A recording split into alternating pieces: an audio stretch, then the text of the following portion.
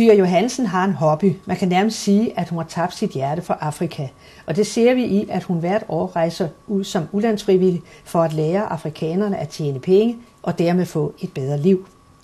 Det har især været bud efter hendes sæbeproduktion, og det nyeste er at bygge solenergikomfurer. Tyre har besøgt flere lande, og det vi skal høre om er dine oplevelser dels i Burkina Faso og Sierra Leone. Og øh, det vi skal høre om også, det er, at øh, du jo har rejst ud øh, øh, for seniorer uden grænser. Ja. Hvorfor har du valgt netop den organisation? Det er jo nok fordi, øh, det er sådan set den eneste mig bekendt, der sender seniorer ud. Det er jo svært at komme ud ellers i min alder. Ja. Og øh, jeg var jo så heldig, at den organisation blev stiftet lige kort efter, at jeg var gået på pension. Hvordan er den organiseret? Den har fem afdelinger øh, rundt om i landet. Øh, og, øh, men der er jo selvfølgelig også en landsdækkende. Den, er landsdækkende, og så er der selvfølgelig også øh, en landsformand og så Ja. videre. Men den, den har sådan en, en vis struktur der. Ja. Øh, når du så vælger at rejse ud, øh, hvorfor valgte du så Burkina Faso? Der var, kiggede jeg jo så på, hvad de havde af tilbud. Ja. Nu er det jo sådan, at der er nogle seniorer, der godt kan lide at starte projekter, og andre seniorer, der bedre kan lide at koble sig på noget, som er bestående. Ja. Og øh, jeg hører jo helt klart til den sidste gruppe, så jeg kiggede efter, øh, hvor kunne der eventuelt være brug for sådan en som mig. Ja. Og øh, der var det jo, jeg fik øje på et projekt i, i Burkina Faso, Ja. hvor det er en dame, der har været ansat af, Røde Kors, og som så også var gået på pension. Hun havde købt et stykke land af, høvdingen dernede. Hendes navn er Else Træop.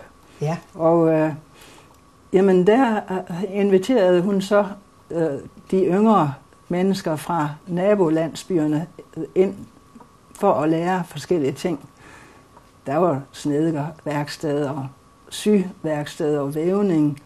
Og så var det jo det, at øh, jamen, hun kunne godt tænke sig, at jeg kom ned og lærte dem at lave sæbe og starte en sæbeproduktion dernede. Hvad Og der var vil- ideen med det, at de ville starte en sæbeproduktion? Det var fordi, øh, det var, øh, vi satte dengang på øh, luksussæbe. Altså noget, som kunne sælges til turister. Sådan pakket pænt ind og med deklaration og så videre. Øh, og så med logo. Så kunne det sælges gennem øh, turistbutikkerne inde i hovedstaden. Havde de ikke haft noget sæbe før? Eller? Jo, jo, det havde Ja. de. Det havde de.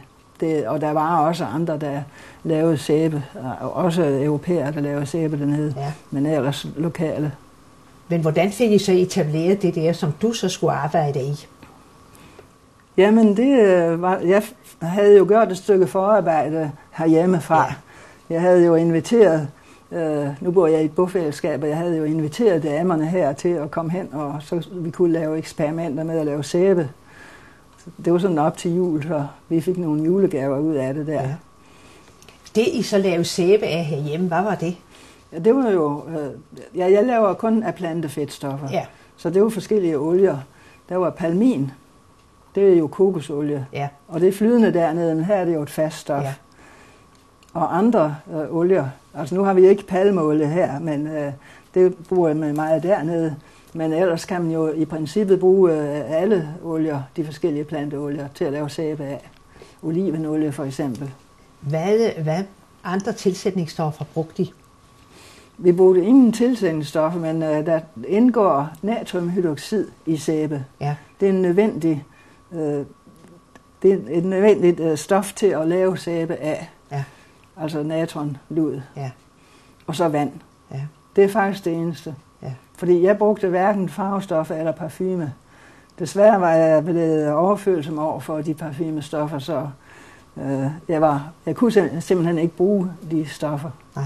Selvom der er nogle afrikanske kvinder, der gerne vil have, at der er en duft ved sæbe. Ja. Men, men det blev der altså ikke ved den sæbe, jeg var med til at lave. Nej. Hvorfor var der så stor interesse netop for det at fremstille sæbe? Men det er åbenbart øh, noget, der øh, er handel i. Det er jo lækkert med sådan et stykke sæbe. Øh, så det kunne man altså. Og jeg, jeg synes egentlig også, det er rart sammenlignet med øh, det der flydende sæbe, som ellers er meget udbredt. Jeg synes, det er rart at have et stykke sæbe i hånden. Ja. Når vi nu taler sæbe, så er det jo også øh, nærliggende at spørge, hvordan er den hygiejniske standard dernede? Ja, de, de bruger jo sæbe til, til at øh, vaske tøj øh, og gøre rent. Ja. Altså, og jo, de, de er jo, øh, ja, de er jo sådan, de vasker hænder før de øh, spiser Ja. og den slags ting. Ja. Så de er meget opmærksomme på det. ja. Da du nu var dernede, øh, hvor boede du så? Jeg boede jo øh, hos Else Træer, fordi Ja. hun havde bygget flere bygninger på sin ret store grund. Det var en tynde land, hun havde. Ja. Og øh, det var så øh, bygget, bygget øh, af, af ler, øh, mursten, øh, lavet af simpelthen tørret ler, Ja. fordi der var meget ler dernede. Øh, og så var de bygget helt uden træ. Ja. Det vil sige, det var med buer og velvinger. Sådan en rigtig flot, sådan arabisk inspireret byggeri. Ja. Fordi der var meget mangel på træ dernede. ja. Kan man betragte det som almindeligt hus, eller er det hyttestilen, eller hvordan vil du? Ja, det er et hus. Nå, Og rigtig flotte huse Ja. også, synes jeg. ja. Hvad med inventar og sådan noget? Hvordan er de? Ja, man kunne ikke smække søm i væggen, for eksempel. Nej. Det kunne det ikke rigtig holde Nej. til. Og det, det skulle, nej, det inventar, jamen der var bord og stole, ligesom, Ja. og jeg sov i en rigtig seng. Ja. Så Det Men gjorde de ikke alle sammen. ikke den afrikanske befolkning, fordi øh, de øh, mennesker, der kom hos Else Træp, kom jo ude fra øh, landsbyerne, der er vi rigtig ude på landet, og øh, det var meget, meget spartansk, sådan som de boede. Altså vi kunne sagtens øh, være på besøg i øh, en hytte, hvor der simpelthen bare var et bord over i hjørnet, og så en snor spændt ud fra det ene hjørne til det andet, hvor man lige kunne smække sit tøj hen over. Så, så næsten ingenting. Ja. og en cykel øh, og skulle være indendørs, for at den ikke skulle forsvinde. Ja.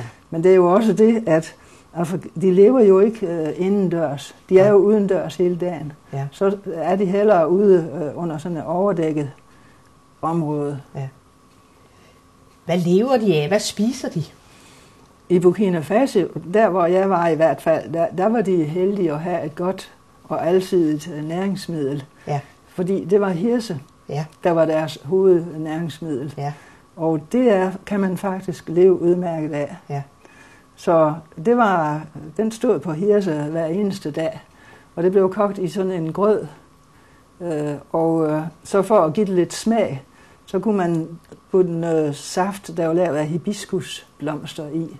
Og også forskellige bær, man fandt. ja. Øh, og så kunne man så øh, øh, som tilbehør have en sovs, hvor der indgik øh, potaske, som, ja, det var i rent bogstavelig forstand noget, man fik ved, øh, ud fra aske, ved at hælde vand igennem aske. Ja.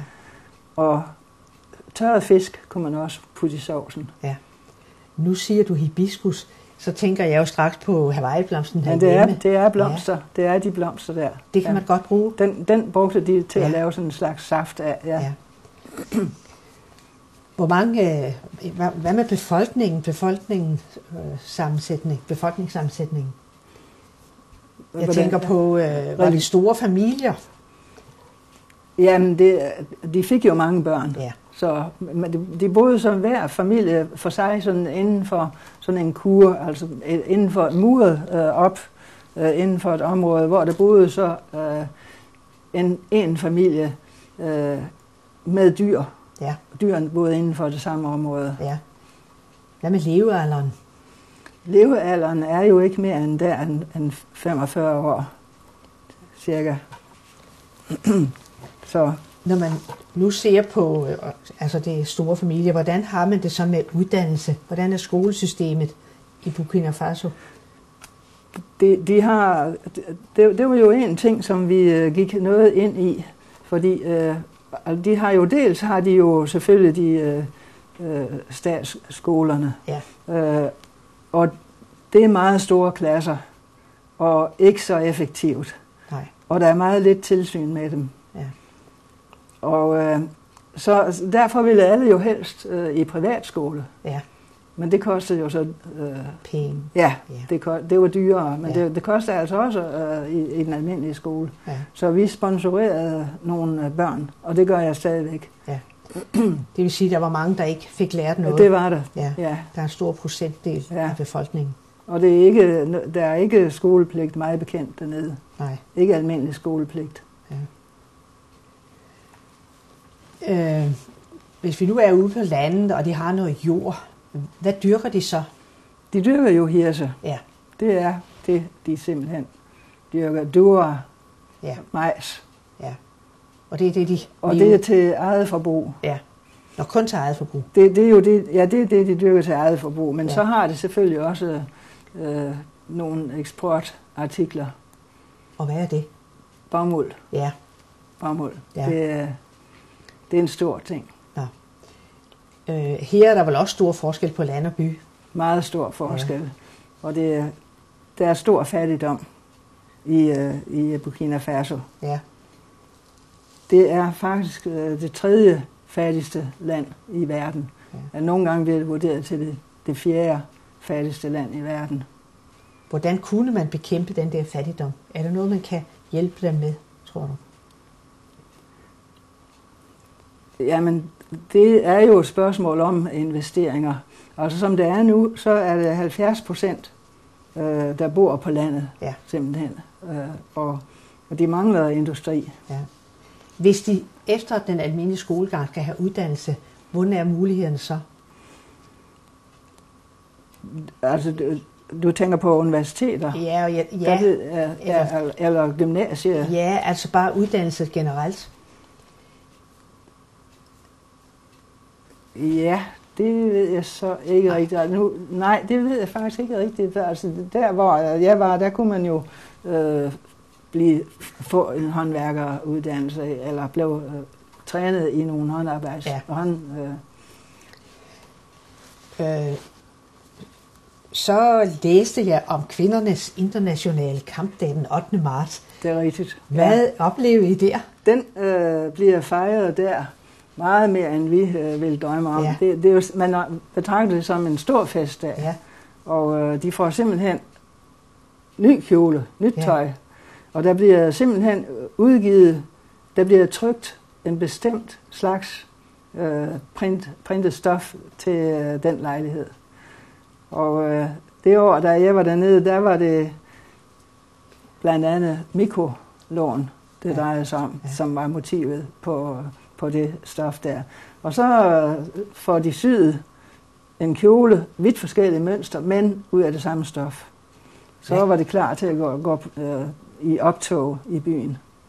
hvorfor gik de så meget op i den dag?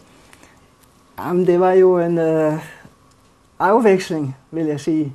Altså, det jo ikke altid, de lærer så meget i det politiske, men øh, nu skulle de ud med veninderne og have en dag ud af det.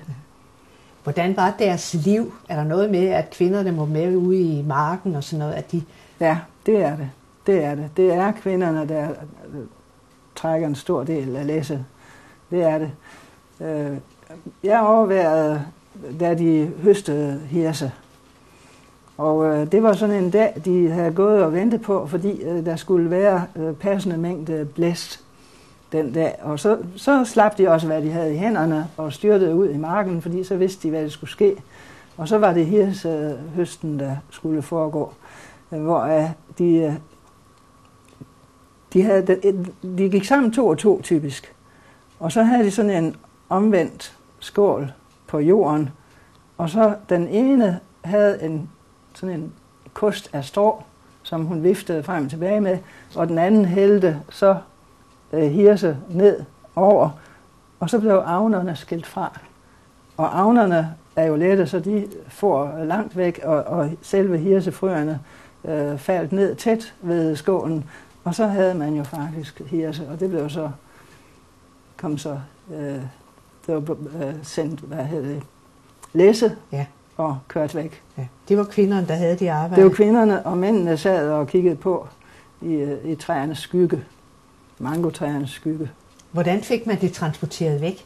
Jamen, det var sådan en kære. Ja. Det var, det var så mændene, der gjorde det. Ja, Æselkære. ja, Æsel er et meget almindeligt dyr dernede i, øh, i øh, Burkina Faso. ja. Så kan man jo prøve at sætte den der arbejdssituation i forhold til kvindernes internationale kampdage. Ja, ja. ja. Ja, men du har jo også været i Sierra Leone, og øh, hvis du nu skal se det land i forhold til Burkina Faso, hvordan vil du så beskrive det? Sierra Leone er mere fattigt. Ja. Og det, det er nok det fattigste land i verden. Det, ja. det er der omkring. Og det, det, det er jo fordi, de har haft øh, en meget svær øh, tid. De har haft en lang borgerkrig fra 91 til 2002. Meget, meget øh, hård borgerkrig, som de jo så ikke rigtig er kommet over. Så fattigdommen er helt utrolig stor. Hvordan er det så med, projekt, med udlandsprojekter der? Er der Jamen det er jo under vanskelige forhold, men der var jeg jo så, så heldig, at jeg øh, gennem Senior Uden Grænser kom i kontakt med en dansk forening, uh, Masangas Venner. Ja. Og uh, det, var, uh, det er en forening, som støtter et uh, hospital i Masanga, som ligger inde i landet, ude ja. i junglen faktisk. Ja. Og uh, det hospital, det uh, startede i 65, og det var syvende dags adventisterne, der startede det. Ja. Men øh, så kom krigen jo, og det måtte lukke der i 97. Og jamen, alle flygtede, og, og det, total, det blev totalt ribbet for alt. Ja. Der var jo ellers, før øh, krigen, der var der jo ellers både elektricitet og rindende vand. Ja. Men alt det blev ødelagt. Ja. Hvordan fungerede hospitalet så senere hen? Er det kommet i gang igen? Det kom jo så i gang takket være øh, blandt andet Masangas venner ja. og, og en tilsvarende engelsk øh, organisation. Øh, de øh, har så lovet over en 10-års periode at støtte driften af hospitalet. Ja. Men det, bliver, det var oprindeligt et spedalskhedshospital, ja. men det bliver genopbygget som et børnehospital. Ja. Og det er jo virkelig også det, der er brug for. Ja. Fordi det er, øh, børnedødeligheden er simpelthen den største i verden. Ja. Det er hver fjerde barn, Ja. der dør, før det er fyldt fem år. Er det på grund af underernæring eller sygdom? Ja, underernæring øh, var netop et kæmpe, kæmpe problem. Ja. Øh, og øh, der, ja, der tager man ud i landsbyerne og finder frem til øh, de børn, som kræver behandling. Og der, der laver man sådan en, en test, man måler her på øh, overarmen. Og hvis det er 11 cm eller derunder, så er det svær underernæring. Ja. Og over 13 cm, så er man okay. Ja. Og så kom øh, børnene ind. Men de bliver hentet, er der ikke noget om det? Jo, fordi øh, jo, det gør det jo. Ja, Og, men nabohospitalet har altså sundhedsklinikker sådan øh, jævnt fordelt øh, ude på landet, så de ved godt, hvor børnene er. Ja. Og så øh, skal der jo øh, bil og chauffør til at hente dem.